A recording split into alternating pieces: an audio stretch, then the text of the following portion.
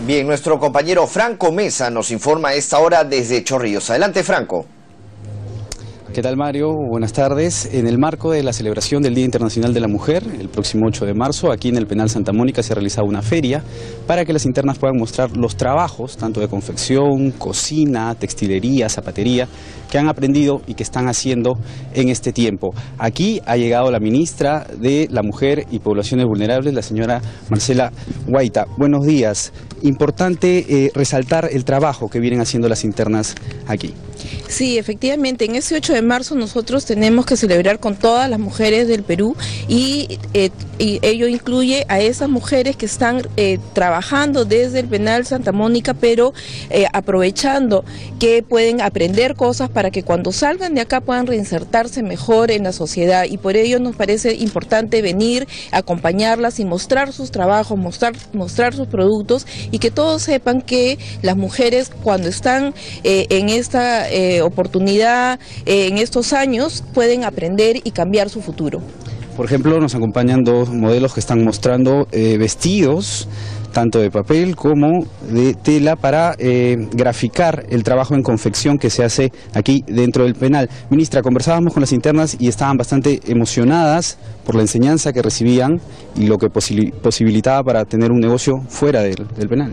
Sí, el, instituto hace muchos esfuerzos para conectar eh, con fábricas y en general para poder posicionar los productos que realizan eh, las internas. Sin embargo, yo invito a todos los medios de comunicación que nos ayuden a difundir esta oportunidad que significa no solamente adquirir productos de buena calidad, sino también ayudar a ingresos que de otra manera no tendrían estas mujeres que están eh, produciendo con mucha esperanza y les invito a todos a conocer y a comprar estos productos. Le escuché decir que usted había regresado, había visitado de nuevo el penal después de muchos años, Santa Mónica, y se mostraba bastante contenta y sorprendida por el trabajo que se está haciendo.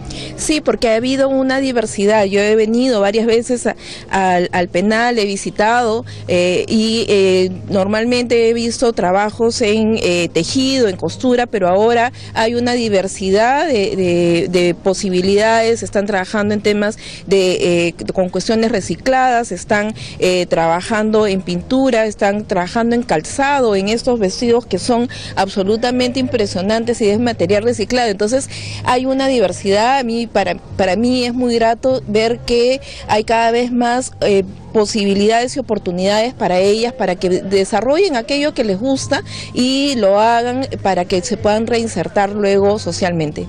Ministra, cambiando de tema, eh, está el tema de la menor de dos años que ha sido asesinada por otra menor de 16. ¿El Ministerio de la Mujer va a asesorar a la familia de la víctima en este caso? Esta es una tragedia, una tragedia que nuta a dos familias. Eh, la familia de la menor que lamentablemente ha fallecido y que necesita eh, un acompañamiento definitivamente es eh, parte del trabajo que nosotros como Ministerio de la Mujer hacemos, pero también es una tragedia para la adolescente y su familia porque ese es un trabajo y yo eh, aprovecho esta oportunidad para decirle en general a las familias del Perú que la crianza de niños pequeños, de personas adultas mayores, de enfermos, es una situación de estrés que tiene que estar enfrentada por personas que están capacitadas o que tienen experiencia. Un adolescente eh, no está en las condiciones para someterse a estas situaciones de estrés y lamentablemente hemos eh, sido testigos de una situación que afecta a, ambas familias y el eh, adolescente va a tener que tener una medida socioeducativa que probablemente implique el internamiento, pero también una protección eh, a partir de la protección de sus propios derechos. Ahora, justamente en el tema de la figura legal, esta menor de 16 años no puede eh, recibir una sanción penal para usted, ¿qué figura debería crearse para evitar este tema? Porque 16 años ya tiene responsabilidad, sabe lo que hace, sabe que no se debe agredir, a menores. Ya las figuras están creadas, hay eh, una infracción eh, que esta adolescente tiene que enfrentar porque efectivamente hay una responsabilidad. Nuestras leyes reconocen la responsabilidad de eh, niños, niñas y adolescentes de acuerdo a su edad. Sin embargo, quiero decir también que el Ministerio de la Mujer con el Ministerio de Trabajo hace algunos años ha sacado un listado de trabajos peligrosos en donde no deben estar enroladas niños, niñas y adolescentes. Y uno de ellos es justamente este trabajo de cuidado a personas eh, pequeñas o personas enfermas o adultos mayores. Este es un trabajo peligroso que las familias no deben encargar a personas adolescentes. Muchas gracias. Muchas gracias. Bien, entonces, palabras de la ministra de la Mujer, Marcela Guaita, para dentro de la feria que se ha organizado aquí en el penal Santa Mónica, para que se puedan mostrar los productos que vienen fabricando las internas. Por ejemplo, aquí tenemos a una empresaria en zapatería. Muy buenos días, ¿su nombre? Mi nombre es Medalí Rabichagua Cuellar y bueno, fabricamos la marca este, Da Queens, trabajamos para, para nuestra propia empresa con internas mismas del penal. Ahora, ¿desde hace cuánto tiene esta empresa? Esta empresa ya tiene ya tres años este, elaborando, pero así haciéndose conocida, gracias a ustedes, eh, bueno, va a ser un año.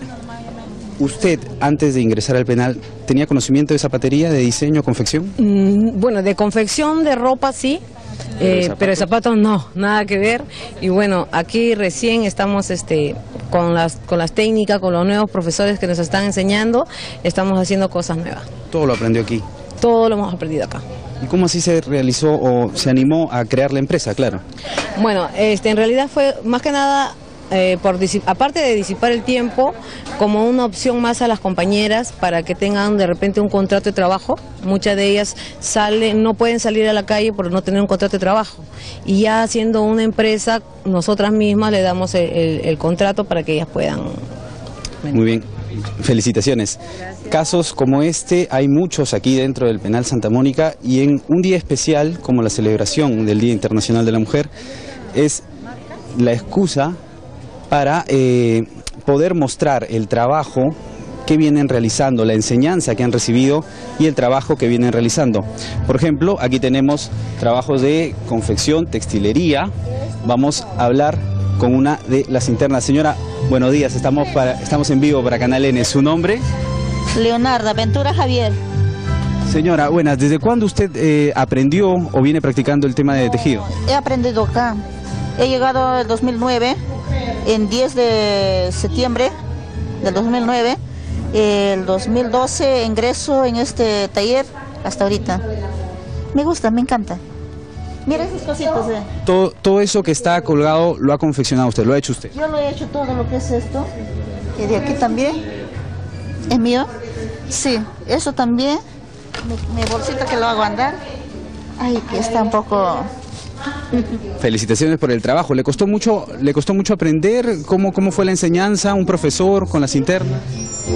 Las compañeras que están antiguas, ellos nos enseñan y nosotros también aprendemos también a las nuevas hemos aprendido hasta enseñando, ¿no? Eh, todo es como, como un prestado. Como es taller de trabajo, eh, es taller este, de producción. Y acá tengo trabajos, cuando desea verlo. Muchísimas gracias. Entonces, esa es la celebración que se viene, muchas gracias, que se viene realizando aquí en el penal Santa Mónica, un día de fiesta y de esperanza. Mario. Muchas gracias Franco por esa interesante información sin duda, pues el Día Internacional de la Mujer es un día muy importante para eh, un poco concientizar a la gente sobre el respeto eh, que se merece. Vamos a ir con Julio César Chávez hasta Pachacamac para conocer la situación del desborde del río Lurín. Adelante Julio César.